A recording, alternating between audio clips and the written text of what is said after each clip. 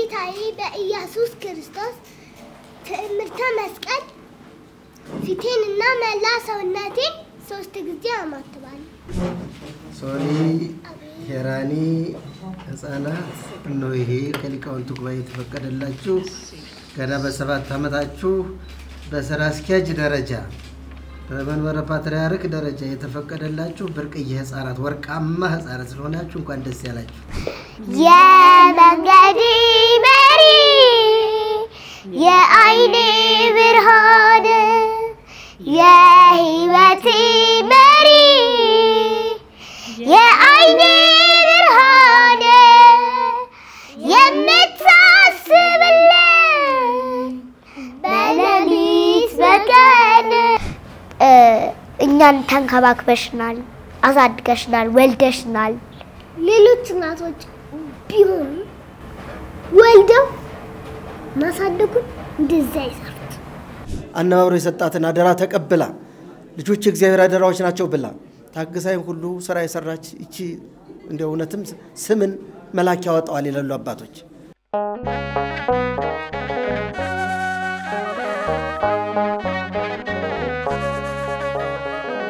እሺ በመጀመሪያ ይሄን ላደረገ ለልዑል እግዚአብሔር ክብርና ምስጋና ይግባው።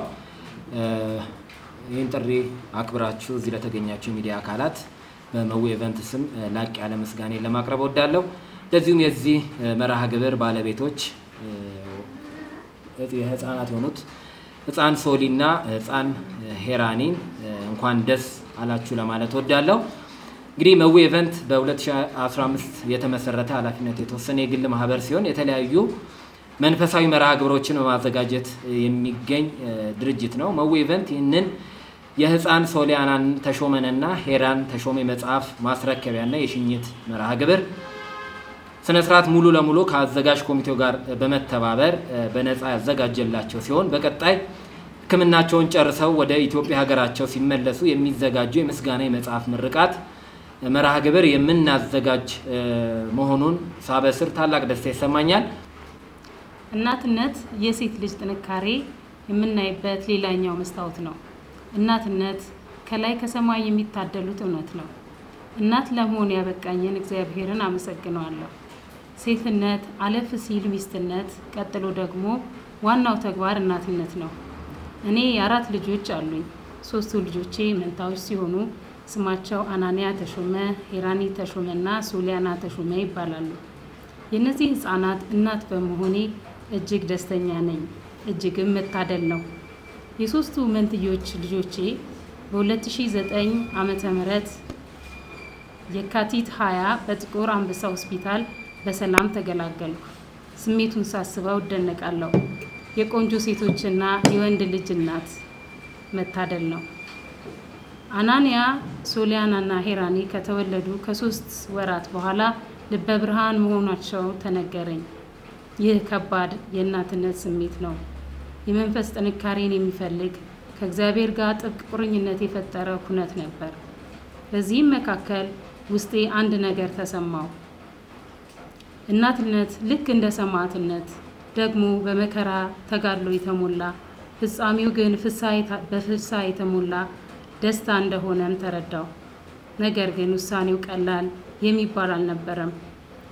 እናትነቴ መሀል ያለውን ጥንካሬ አድንቆ ያደነቀኝ ለብርታቴ ድጋፍ የሆነኝ የጉዜን ሂደት ብቻዬን እንዳልሄድ አልፎ ተርፎ እርዳታ ያደረገልኝ እንዳለ ሁሉ ምን አለበት ለምን ለሌላ ሰተሽ ብታርፊ ብሎ ቀላል የማይባል ሊያደክመኝ የሚችል ሀሳብ የሰነዘረ እንዳለም ሳልጠቅስ አላልፍም። ሄራኒን ሶሊያና እና አናንያን ለማሳደግ ሙሉ ጊዜ መስጠት እንዳለብኝ ከተሰማኝ በኋላ እስከ ማስተርስ ዲግሪ ድረስ የተማርኩትን የምህንድስና ትምህርት ስራዬን ለማቋረጥ በመወሰን አቋርጬ የልጆቼ ህይወት ስራዬ የእነሱ የየዕለት እድገት መከታተል ደግሞ ደሞዜ የእነሱ ደስታ መሆን እንዳለበት ለአይምሮዬ ልቦናዬና በኩል ፍቃድ ሰጥቼ ስራዬን በማቋረጥ ሙሉ ጊዜ ለልጆቼ ሰጠው። ሙሉ ትኩረትን ልጆቼ ላይ አደረግኩኝ። የሚገርመው ትኩረቴን የሰጧቸው ልጆቼ እግዚአብሔር ደግሞ እግዚአብሔር ሞገስ ሆኗቸው ልበ ብርሃን አደረገልኝ። በእጅጉ የሚደንቁ የተባረኩ ለእኔም ጭምር ብርታት የሆኑ ልጆች አሉኝ። አልፈው ተርፈው ለሌላም ጭምር ልብን ወደ ፈጣሪ እጅጉን እንዲቀርብ ምክንያት የሆኑ ልጆች አደረገልኝ። የዚህ ፍሬ ደግሞ ዛሬ ለተሰብሰብንበት ምክንያት ሆኗል። ልጆቼም ጠያቂ ነገሮች ለነገሮች ትኩረት ሰጪ እንዲሆኑ እየሆኑ ያደጉ- እያደጉ ነው። አንድ ሁለት አንድ ሁለቱን ባነሳ ደስ ይለኛል። ለሁላችንም ጥሩ ግባት እንዲሆነን ሄራኒ ነገሮችን በጣም በጥልቀት የማየት ድንቅ ስጦታ አላት። የሚፈጠሩ እውነቶችን በጥልቀት ለማየት የልጅ አዋቂ የሚያስብል ነገር ፈጽማለች። የዛሬ ዓመት አባቴ ያርፋል። በአባቴ ሞት ምክንያት ልቤ እጅጉን ተሰበረ፣ ሕሊና የታወከ ሐዘን ማብዛቴን የተመለከተች ሄራኒ በሚገርም ሁኔታ ታጽናናኝና የእግዚአብሔርን ቃል እየነገረችኝ ልቦናዬን ወደ መረጋጋት መለሰችልኝ። ለስድስት ዓመት ልጅ ይህን ያህል ብስለትና ፈጣሪን የማወቅ ምንኛ መሰጠት ነው በማለት ከኔ አልፎ ለሌላ ይበጃል በማለት እርሷን ቀርጬ በማ- በማህበራዊ ድረገጽ ላይ ለቀኩት። የሚደንቀው ከጊዜ በኋላ አንዲት ሴት ደውላልኝ ወደ እኔ መጣች። ልጅሽ ልጆቼን ጥዬ ከመሞት አተረፈችኝ፣ ከስጋ ሞት ከነፍስ እርኩሰት አርነት አወጣችኝ አለችኝ። ከቤት ያለ እኔ አትወጣ እንዴት ብላ ነው ይህንን ልታደርግ የቻለችው? ይህንንስ እንዴት አደረገች? በማለት ጠየቅኳት። እሷም እንዲህ ስትል መለሰችልኝ። ህይወት ከበደኝ፣ መኖር ሰለቸኝ፣ ነገር ሁሉ አልቃናልሽ አለኝ። ተስፋን በእኔ በራሴና በፈጣሪ ላይ አጣሁ። ከዚህም ሁሉ ሞቼ ብገላገል ብዬ መርዝ ገዝቼ ልጠጣ ለተዘጋጀውበት ሰዓት ድንገት ፈጣሪ አትሙት ያለው ነፍስ ነውና ስልኬን ከፍቼ ወደ ማህበራዊ ገጽ ስገባ ያንን ጊዜ የለቀቅሽውን ተንቀሳቃሽ ምስል አየው። የመርዝ ብልቃቱንም ትቼ እግዚአብሔር በእሷ ላይ አድሮ ለመትረፍ ቻልኩኝ። ከፈቀዳችሁልኝ የሶሊን ልቀጥል። ሶሊ ደግሞ በጣም ጠያቂና ነገሮችን በጥልቀት በጣም ነው በጥልቀት የማየት ስጦታ ያላት ልጅ ነች።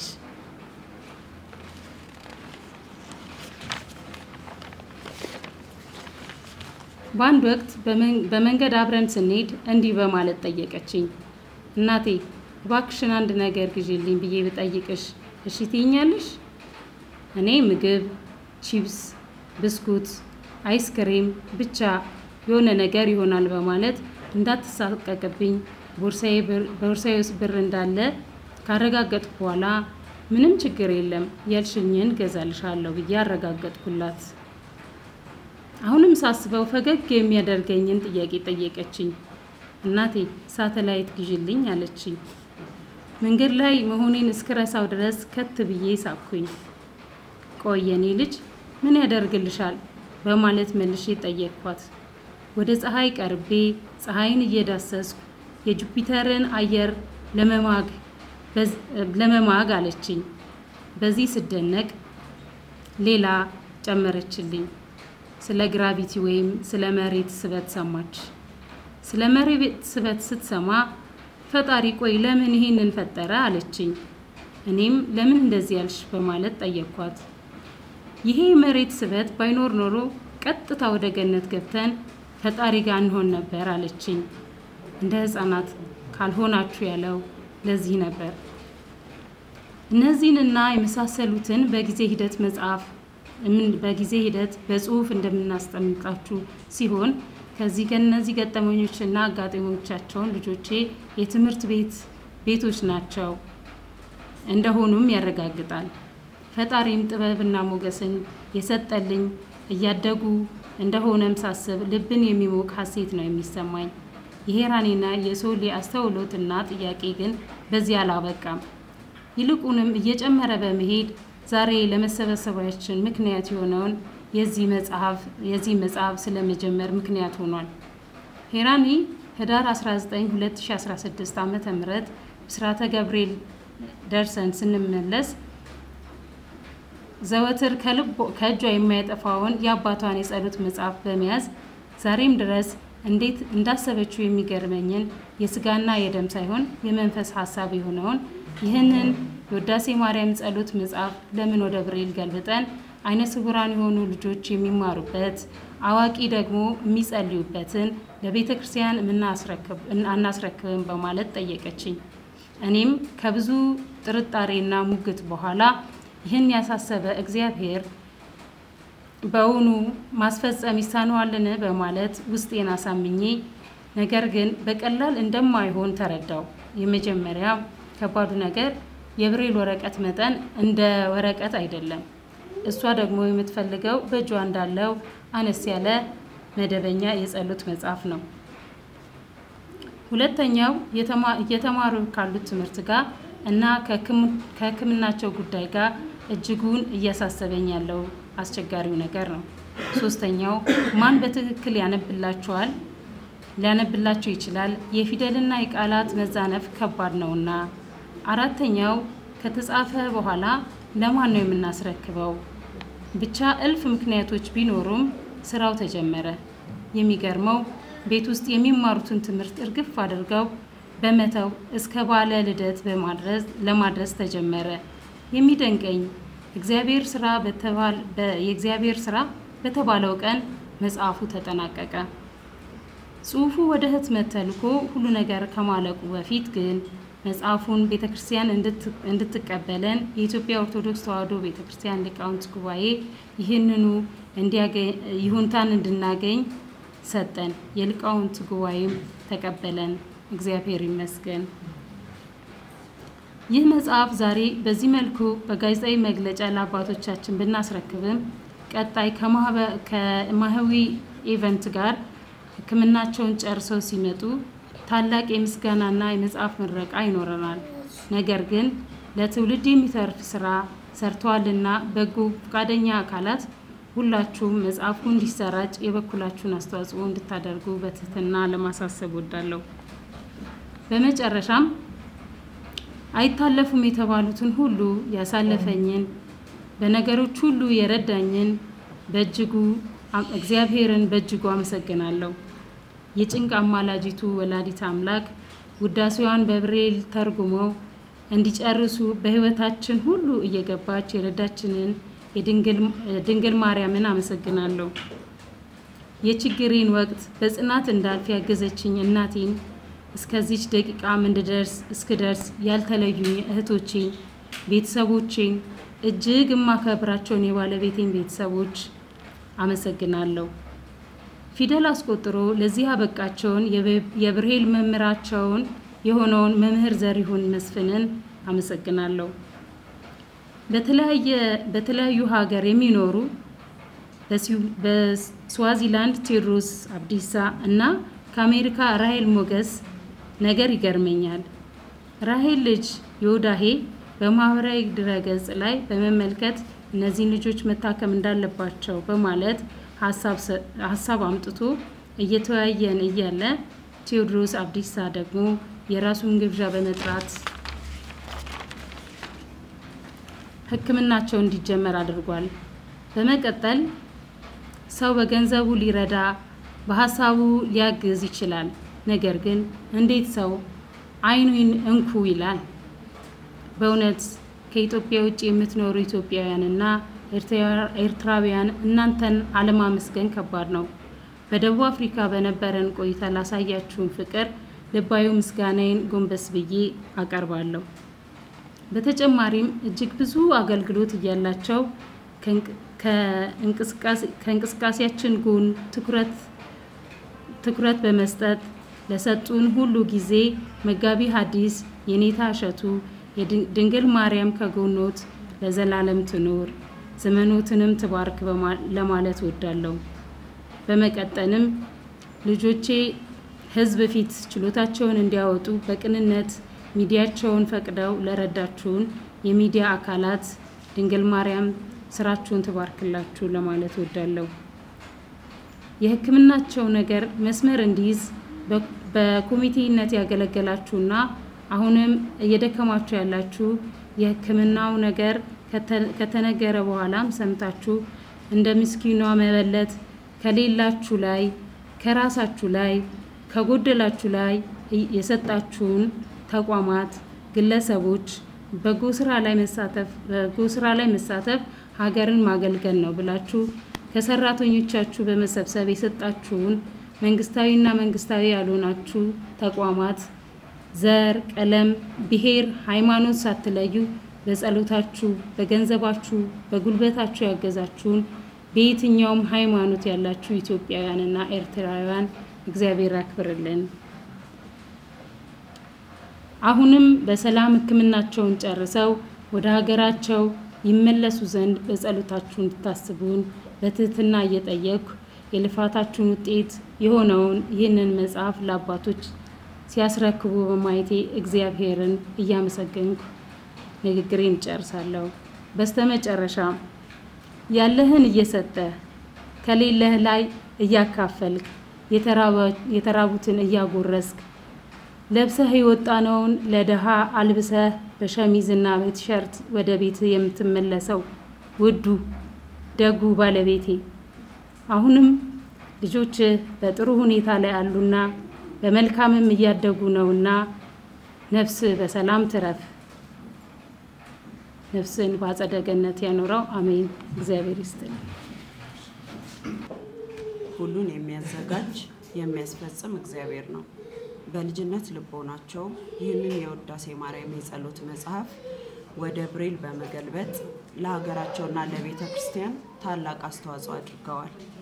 እኛም ከመዊ event organizer ጋር በመሆን ሕክምናቸውን ጨርሰው ወደ ሀገራቸው ሲመለሱ ታላቅ የምስጋናና የመጽሐፍ ምርቃት ለማድረግ በዝግጅት ላይ እንገኛለን።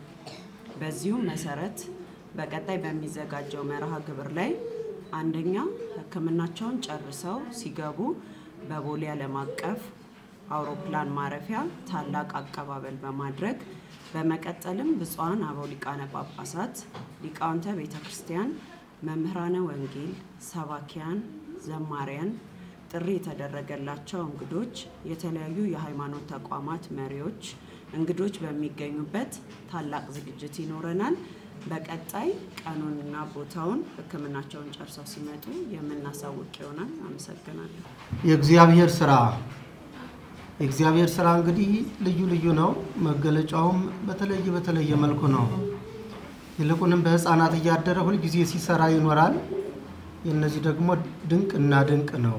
እናታቸውም እጅግ ብርቱ የሴት ብርቱ ታሰኛለች አንቱ የምትባል ብርቅዬና ድንቅዬ እህት ናት። እስካሁን በማህበራዊ ሚዲያ ነው ሳያት የቆየውኝ ስራዋን በልጆቿ ስራ ይሄ የእሷ ጥረት ውጤት ነው። ልጆቿ እንዲህ አድርጋ ቀርጻ ራሷን ሰጥታ ራሷን ሰውታ ልጆቿን በመልካም አስተዳደግ በማሳደጓ እንዲህ ያለ ተአምር እንድናይ በቅተናል። ይህን የእግዚአብሔር ስራ ነው የምንለው። ይሄ የእግዚአብሔር ስራ የሚለው ቃል እንግዲህ እንዲያው በዚሁ ምሳሌ አድርጌ አብዝቻ ልናገረውም ጨረፍ አድርጌ ልናገረው የሚገባኝ ነገር ስላለኝ አንስቸዋለሁ። በዮሐንስ ወንጌል ምዕራፍ ዘጠኝ እንደምታውቁት ቁጥር ሶስት ላይ የሚገኝ ቃል ነው። የእግዚአብሔር ስራ በእርሱ ላይ ይገለጥ ዘንድ ነው የተባለለት አንድ አለ። ከእናቱ ማኅፀን ጀምሮ ሲወለድ አንድ ምልክት ይዞ የተወለደ ነበረ።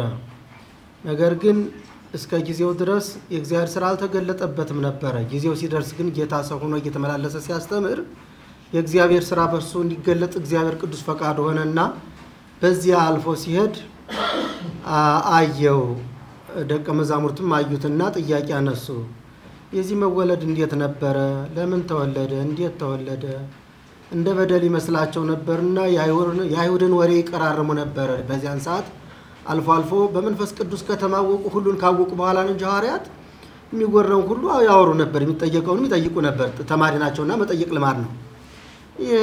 እንዲህ ሆኖ ሊወለድ የቻለው እንዴት ነው? በእርሱ በደል ነው?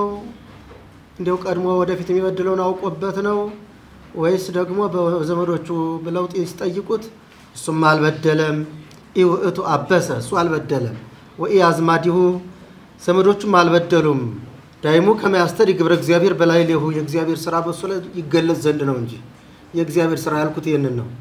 አሁንም እነዚህ ድንቅዬ ህፃናት የእግዚአብሔር ስራ ሊገለጥባቸው የተወለዱ ድንቅ ህፃናት ናቸው። በማህበራዊ ሚዲያ ሁልጊዜ እከታተላለሁኝ እና ያለው ድንቅ ድንቅ ነገሮች ነው የሚናገሯቸው። ከህፃናት አንደበት የሚወጣ አይደለም። በእነሱ እድሜ ክልል ውስጥም ያለ ንግግር አይደለም። ግን የእግዚአብሔር ስራ ሲገለጥ እንደዚህ ነው።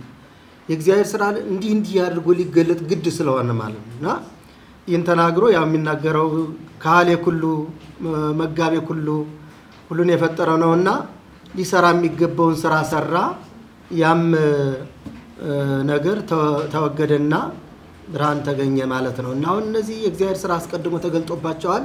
አሁን ደግሞ ይህ ሁሉ ተወግዶ ይህ ሁሉ ሀሳብ ተፈጽሞ ተስተካክሎ በተአምር ለመገናኘት ያብቃን እግዚአብሔር። ይህ ስራ ወደ ጉባኤ ሊቃውንት መጥቷል። እግዚአብሔርም ደግሞ እስካሁን ድረስ ቤተ ክርስቲያንን አልተዋትምና ይህን ስራ በእውነት ለመጀመሪያ ጊዜ ነው። እንዲህ አይነት ስራ አይተን አናውቅም። በእንዲህ አይነት ዝግጅት ተዘጋጅቶ አያውቅም። ስለዚህ ማን ያየዋል እንዳንል ደግሞ እግዚአብሔር ያዘጋጃቸው በጣም ልበ ብርሃን የሆኑ ወንድማችን መጋቤ ብሉይ እዝራ ለገሰ የሚባሉ የጉባኤ ሊቃውንት ዋና ሰብሳቢ አሉ። በእርሳቸው በኩል እንዲታይልን አድርገን እርሳቸው በትጋት ተመልክተው በጣም ጥሩ ስራ ተሰርቷል። ይህ ስራ ደግ ስራ ስለሆነ ይህ የጸሎት መጽሐፍ በእነዚህ ህፃናት ስም ሊወጣላቸው ተገቢ ነው። ለእነሱም እርዳታ ነው። ለቤተ ክርስቲያንም ፈርቀዳጅ ነው። እኛም ጭምር ነገ በዚህ አይነት መጽሐፍ እንድናዘጋጅ መርህ ነው። አብዛኛው ቤተ ክርስቲያን እንግዲህ መጽሐፍ ቅዱስ መጀመሪያ በቃል በትውፊት ነው የተላለፈ። ጌታ እንኳን ወርዶ ተወልዶ ያስተማረ በጽሁፍ ሳይሆን በቃል በቃል አስተምሮ አለፈ። ሐዋርያትን ሹሞ በአጽናፈ ዓለም ላካቸው። ሐዋርያት ተሹመው በአጽናፈ ዓለም በተላኩበት ሁሉ ሲያስተምሩ ከኖሩ በኋላ እዚያ በኋላ ነው ጥያቄ ሲያነሳባቸው ህዝቡ ጌታ ባረገ በስምንት ዓመት ነው እንግዲህ ወንጌል መጻፍ የተጀመረ። ጌታ ባረገ በስምንት ዓመት እንግዲህ መጽሐፍ ቅዱስ መጀመሪያ በቃል ሲነገር የመጣ ነው ማለት ነው። ስለዚህ እኒህ ህፃናት በቃል ማስተማር ይቻል ነበር። ግን ዘመኑን የዋጀ ስራ ደግሞ አስፈልጎ እግዚአብሔር ብዙ ስራ የሚሰራባቸው ሊቃውንቶች አሉን። ቅድም አንስተዋቸዋል። እነ መጋቤ ሐዲስ እሸቱን የመሰለ እውነት ብርቅዬ ብርቅዬ እንዲያው ሊቃውንት ዛሬ ሁሉ አሉን። ስማቸውን ጠርቼም አልዘልቃቸውም። የሁሉ ያስተማሩኝ እነ የኔታ አይምሮ የምንላቸው አይምሮ የተመላላቸው አሉ። ሁሉን ያወቁ ሁሉን የጠነቀቁ ነገር ግን የእነዚህ ህፃናት ደግሞ ሀ ሳይሉ ለዚህ በመብቃታቸው ገና በዚህች እድሜያቸው በትንሽ የእድሜ የህፃናት በኬጂ ትምህርት ውስጥ ማለት ነው እንግዲህ በዚህ ማለት ነው በዚህ ውስጥ ማዘጋጀታቸው ለእኛ ድንቅ ተአምር አሁን በወንጌሉ ከተነገረው ድንቅ ተአምር ጋር አያይዘን የእግዚአብሔር ስራ ነው የምንለው። በጌታዬ በኢየሱስ ክርስቶስ ትዕምርተ መስቀል ፊቴንና መላ ሰውነቴን ሶስት ጊዜ አማትባለሁ። አንድ አምላክ በሆኑ በአብ በወልድ በመንፈስ ቅዱስ ስም ልዩ ክቡር ጽሩይ በሆኑ በሶስትነት ወይም በስላሴ እያመንኩና እየተማጸንኩ ጠላቴ ሰይጣንን እክድሃለሁ። በዚች በእናቴ ፊት ቤተ ክርስቲያን ፊት ቁሜ እክድሃለሁ። ለዚህም ምስክሬ ማርያም ናት። በዚህም ዓለም በወዲያኛውም ዓለም እርሷን አምባ መጠጊያዬ አድርጌ እክድሃለሁ።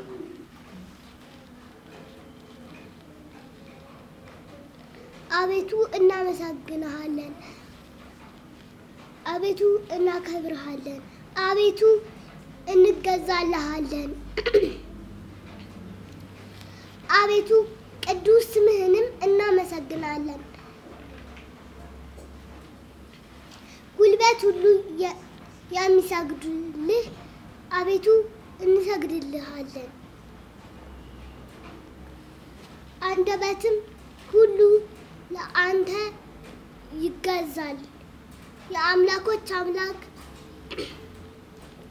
የጌቶች ጌታ የንጉሶችም ንጉሥ አንተ ነህ። የስጋም የነፍስም ፈጣሪ አንተ ነህ። እናንተስ በምትጸልዩበት ጊዜ እንዲህ ብላችሁ ጸልዩ ብሎ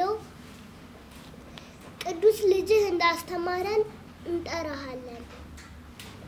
ሰላም፣ እንዴት ናቸው እግዚአብሔር ቤተሰቦች? ለዚህ ያደረሰን እግዚአብሔር የተመሰገነ ይሁን። ቀኑ ህዳር 19 2016 ዓመተ ምህረት ነበረ እና እኛ ገብርኤል ቤተ ክርስቲያን እንሄዳለን እና በ19 ላይ በተአምር ከገብርኤል ቤተ ክርስቲያን አንቀርም ነበረ እና ገብርኤል ቤተ ክርስቲያን የግል ጸሎታችን ካደረስን በኋላ ወደ ስብከተ ወንጌል ለመማር ተቀመጥን። ከዛ በኋላ እየተማርን ያለ እኔ ሀሳቤ ሌላ ሌላ ሌላ ቦታ ነበረ እና ሌላ ነገር ነበር የማስበው። ማስ- ማስበውም እንደሆነ ታውቃላችሁ። ለምንድን ነው ለአይነ ስውራን መዝገበ ጸሎ- ጸሎትም በብሬል ለነሱ አሳትሜ ለገና በዓል ስጦታ መስጠት ነበረ ሀሳቤ እና እሱን ስብከተ ወንጌል ተምረን ካል ከጨረስን በኋላ ወደ ቤት ስንሄድ ለእናቴ ነገርኳት። እሷም ገና ልጅ ነሽ ገና ነሽ ምናምን አለችኝና አይ ማንበብና መጻፍ ከቻልኩ ይበቃል።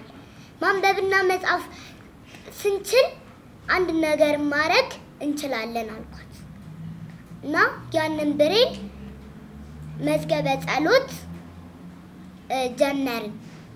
እግዚአብሔር ደግሞ ለኛ ለኛ ሲል ብርታቱን የሰጠንን እግዚአብሔር እግዚአብሔር የተመሰገነ ይሁንና በታህሳስ 19 2016 ዓመተ ምህረት አጠናቀቅን። ለዚህ ያደረሰን እግዚአብሔር የተመሰገነ ይሁንና ዛሬ በጣም ደስ የሚል ቀን ነው። እንደ ዛሬ እግዚአብሔር ይችን ቀን ስለሰጠን እግዚአብሔር የተመሰገነ ይሁን እና ለሊቃውንት አባቶች ይህንን መጽሐፍ ለቤተ ክርስቲያን ለቅድስት ቤተ ክርስቲያን እንሰጣለን። አመሰግናለሁ።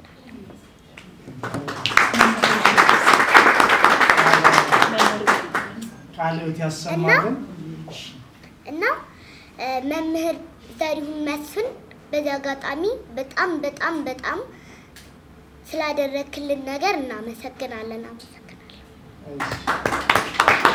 ለዚህ ቀን ስላበቃን ለዚህ ለተቀደሰ ዓላማ ስላሰባሰበን ልዑል እግዚአብሔር የተመሰገነ ይሁን።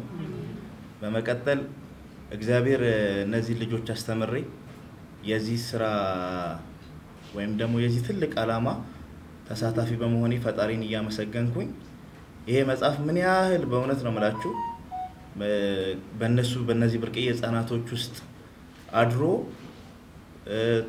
ይሄ መጽሐፍ እስካሁኑ ቀን እንድንደርስ ብዙ እንትኖችን አልፈናል እና ለዚህም እግዚአብሔር ይመስገን። ይሄ መጽሐፍ በጣም በጣም ከምንም በላይ በዚህ ሰባት ዓመታቸው እነዚህ ህጻናቶች ሰባት ዓመታቸውን አሁን ላይ እኛ ይሄን ይህን ሁሉ ዓመት ኖረን እንደውም ይገርመኛል። በቃ ይህን ያህል መጽሐፍ ይህን ይህን መሰለ መጽሐፍ አስበው ከአሁኑ ሲያስቡልን በቃ ከአሁኑ ለእኛ አሁን ብዙ ጊዜ መጽሐፍ አይታችሁ ከሆነ በኦዲዮ ራሱ አይገኝም ለአይነ ስውራን በ audio recording ማለት ነው። audio recording ም እንደ ልብ አይገኝም በድምፅ ማለት ነው። ይሄ ግን ከሌላው እኩል አንብበን ቀጣይ ትውልድ ያለውም ደግሞ በር እንዲከፍት ነው ያደረጉት እነዚህ ልጆች። ሌላም መጽሐፎች እንዲታተሙ ነው መንስኤ የሆኑትና እነዚህ ልጆች እግዚአብሔር ለትልቅ ደረጃ እንዲያበቃቸው የተመኘሁኝ።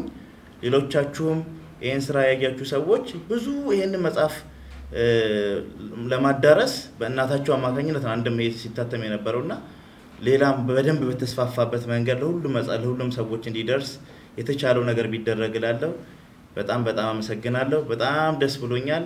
እግዚአብሔር ደግሞ ከዚህ በላይ አሳድጓችሁ ፍሬያችሁን ለማየት ያብቃኝ።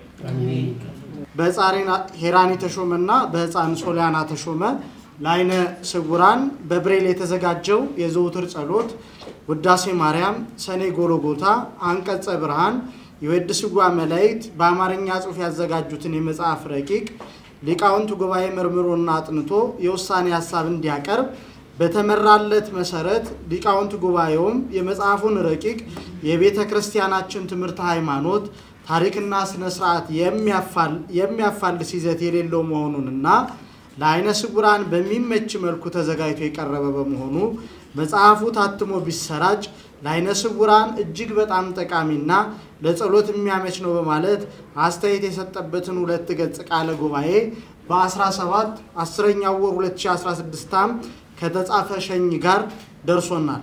ስለዚህ ከሊቃውንቱ ጉባኤ በቀረበው አስተያየት መሰረት የቀረበው የብሬል ጽሑፍ ረቂቅ እንዲታተም የተፈቀደ መሆኑንና ቅድስት ቤተ ክርስቲያናችንም የአካል ጉዳት ያላቸው ልጆቿን በፍቅርና በእንክብካቤ የምታያቸው መሆኑን እናስታውቃለን። አምላካችን እግዚአብሔር ለሀገራችን ኢትዮጵያና ለዓለም ሁሉ ሰላምን ይስጥ። አባ አብርሃም በኢትዮጵያ ኦርቶዶክስ ቤተ ክርስቲያን መንበረ ፓትርያርክ ጠቅላይ ቤተ ክህነት ጽሕፈት ቤት ዋና ስራ አስኪያጅ እና የባህር ዳር ሀገረ ስብከት ሊቀ ጳጳስ ነው የሚለው ደብዳቤው። ይህንን እንዲያስረክቡልን መጋቢ ምስጢር የኔታ ፍሬ ስብሐት ለልጆቹ እንዲሰጡልን በአክብሮት እንትን እንላለን። ሶኒ ሄራኒ ህጻናት እነሆ ይሄ ከሊቃውንቱ ጉባኤ የተፈቀደላችሁ ገና በሰባት ዓመታችሁ በስራ አስኪያጅ ደረጃ በመንበረ ፓትርያርክ ደረጃ የተፈቀደላችሁ ብርቅዬ ህጻናት ወርቃማ ህጻናት ስለሆናችሁ እንኳን ደስ ያላችሁ። ይኸው እነሱም እግራቸውን እየሳሙ ነው። ይደጉልኝ እደጉልኝ እደጉልኝ እደጉልኝ። እግዚአብሔር ያሳድጋችሁ።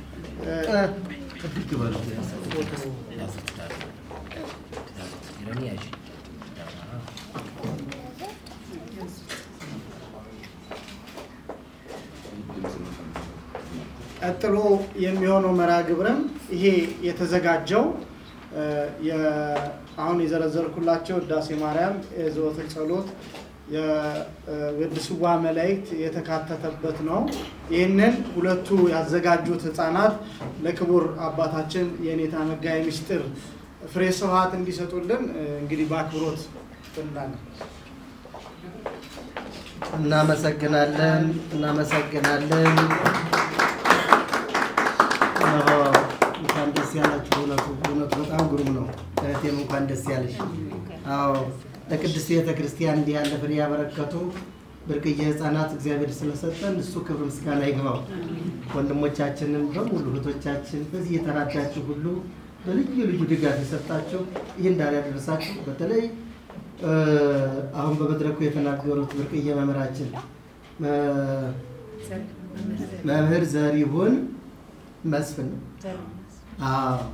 እውነት ወንድማችን ከዚህ በላይ ብዙ ህፃናቶች አሉና ብዙ ህፃናቶችን ለዚህ ስራ እያነቃቃህ ብዙ ስራ ለመስራት እግዚአብሔር ያብቃል እንላለሁ።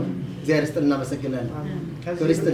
በጣም ደስ ብሎኛል እና ሁላችሁንም ለዚህ ነገር አስተዋጽኦ ያደረጋችሁ ሁላችሁንም አመሰግናለሁ። እናቴ ለዚህ ቀን እስከዚህ ቀን ድረስ የተንከባከብሽ ስላሳደግሽኝ እና ደግሞ እ፣ የምነግርሽን የምነግርሽን ሁሉ ሀሳብ የማጋራሽን ሁሉ ነገር እንድተገብርም ደግሞ ስለረዳሽኝ ስላገዝሽኝ ከአጠገቤም ስላለራቅሽ ከጎኔም ስላለሽ ሁል ጊዜም ለእኛ ትኩረትሽን ጊዜሽን ብዙ ጊዜሽን ለእኛ ስትሰጠሽናልና እናቴ አመሰግናለሁ። አደጊልኝ ልጄ ድግ በይልኝ። እሺ ወድሻለሁ፣ ወድሻለሁ።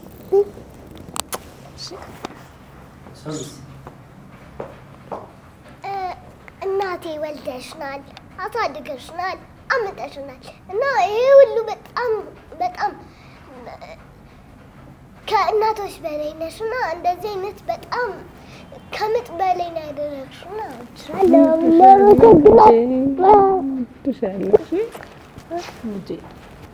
ወድሽ ዳረግሻለሁ እናቴ። ይሄንን ኃላፊነት በሙሉ ወስደሽ ከመውለድም ጀምረው ከማሳደግን ከማሳደግንም ጭምር ሀሳብንም መጋራትንም ጭምር አበርክተሽልናል እና በጣም ብዙ አስተዋጽኦ አድርገሽልናል። እኛም የምናስበውን ነገር አጋርተንሽ ይህንን ነገር አንቺ አስበሽበት ለልጆቼ ይሄን ነገር ማድረግ አለብኝ የምትይውን ተገቢ ነገር አድርገሽልን እኛን ለዚህ ከመውለድም ኃላፊነት ጀምሮ እስከ ማሳደግ ኃላፊነት ድረስ እኛን ተንከባክበሽናል፣ አሳድገሽናል፣ ወልደሽናል። ሌሎች እናቶች ቢሆኑ ወልደው ማሳደጉን እንደዛ ይሰሩት ወይ ዕቃ ያሳጥባሉ ወይ ሱቅ ያስልካሉ። አንቺም ስታድጊ እኮ ትላቂያለሽ። ዛሬ በዚህ እድሜም ል- ከዚህ እድሜ በታች ራሱ የሚያስልኩ እናቶች አንቺ ግን ልጅሽን እንደዚህ የመንገድ መሪ የአይኔ ብርሃን የህይወቴ መሪ የአይኔ ብርሃን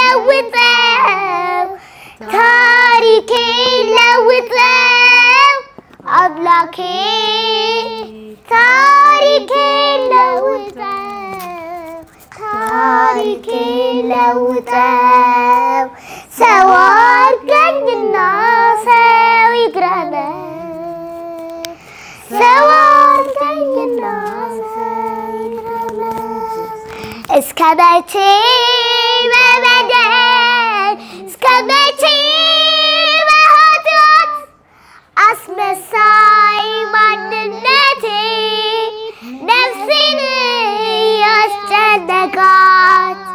Meşek hep silahlatın Yemez zavr değil Bezit kılın. ለውጠው ማዛዬን በጽድቅ ልመላለስ ለውጠው ማዛዬን በዚች ቅድስት ቤተ ክርስቲያን የተቻለንን ያህል ሁሉ እንሰራለን። መጽሐፍ ቅዱስም ግዕዙን ሙሉውን ግዕዝ ከአባቶች ጋር በመሆን ለማሳተም በቅተናል። ይህን ሁሉ ስራ ስንሰራ እንደዚህ ስራ የተደሰትኩበት ስራ የለም። ምክንያቱም የስራ መጀመሪያ ነው። እንዲህ ያለ ድንቅ ስራ ሲመጣ surprise ይሆንብሃል። አንተ ድንገተኛ ነገር ነው እና ስንመለከተው ማን ይመለከተዋል? ብፁዕነታቸው ብፁዕ አቡነ አብርሃም ሳይቀር እንዲህ የሚመለከተው መጀመሪያ አመቻቹ አመራር ለመስጠት አመራር ለመስጠት እንዴት አድርገን የሚለውን ነገር አስበዋል።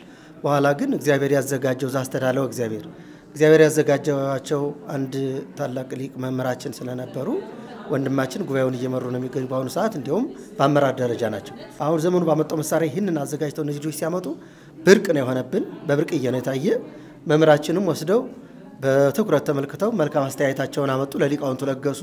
ሊቃውንቱ እንግዲህ የማናየው ነገር ስለሆነ ማለት ነው። እኛ የምናየው የተጻፈውን በእኛ የታተመውን ነው። በዚህ የታተመ ግን ለመጀመሪያ ጊዜ ነው። እሳቸው ያው የዚህ ባለሙያ ናቸው። እውቀቱ ሙሉ እውቀት ስላላቸው አይተው መርምረው አቀረቡልን። እኛም ያቀረቡልን በመመልከት የእነዚህ ብርቅዬ ህፃናት በመሆኑ ደግሞ በጣም ከፍተኛ የእጥፍ ድርብ ደስታ ነው። በሰባት ዓመት ህፃን መጽሐፍ ተዘጋጀ ተብሎ የመጀመሪያ ደስታ ነው። የመጀመሪያ ደስታ ነው። ለዚሁም ደግሞ ለአይነ ስውር ማየት ለተሳናቸው ወንድሞቻችን እህቶቻችን እየተዘጋጀ ማለት የመጀመሪያ ደስታ ስለሆነ በጣም ነው ደስ ያለኝ። አዎ ልዑለ ባሕርይ እግዚአብሔር እንግዲህ ያለ ሁኔታ ሁኔታዎችን አላመቻቸም። አንድ የሚያሳየን ተአምር ይኖረዋል።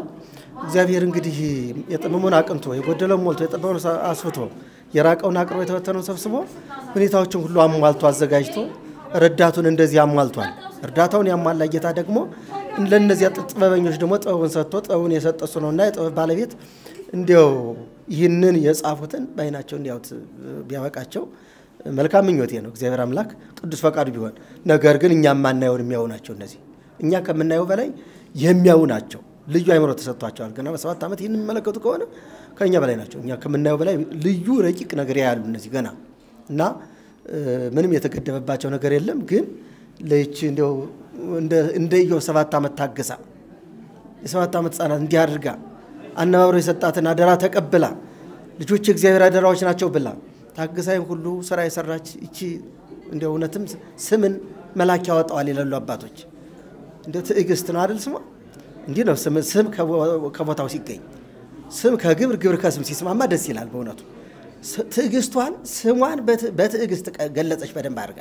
እንደ ኢዮብ ታገሰ ሰባት ዓመት ይህን የሰራችው ስራ ሁሉ ተመልክቶ ልፋቷን ቆጥሮ ይህን ያመጣው ጥበቡን ሁሉ የገለጸው እሱ ነውና የጥበብ ባለቤት እግዚአብሔር እንደው አይናቸውን አብርቶ እንዲያሳየን ቅዱስ ፈቃድ ይሆንልናለን።